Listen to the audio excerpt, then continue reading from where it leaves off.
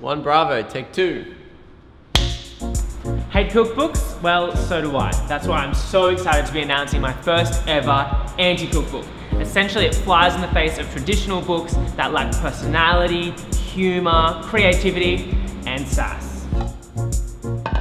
Obviously, the book will contain mouth-watering recipes, and if you Instagram it, I'm guaranteeing you're gonna get 50 likes. But it's so much more than that. It's about the atmosphere that surrounds food. The book comes with all these tips, tricks, and hacks to make even the most home-accomplished chef look like an absolute genius. And if you're a bit of a rookie in the kitchen, don't worry, we've got you covered as well.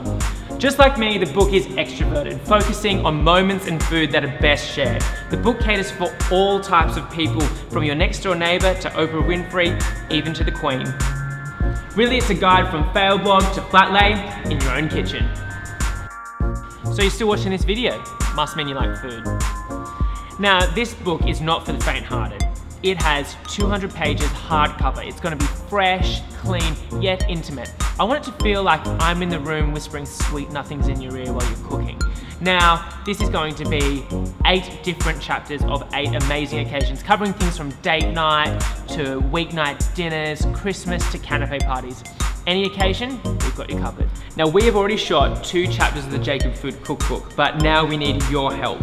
We need to raise $17,000 in order to send this project to print.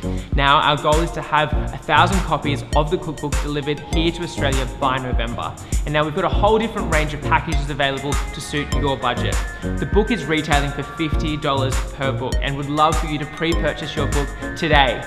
So if you can support the Jacob Food Cookbook, we would so appreciate it. And we look forward to you receiving your book in November.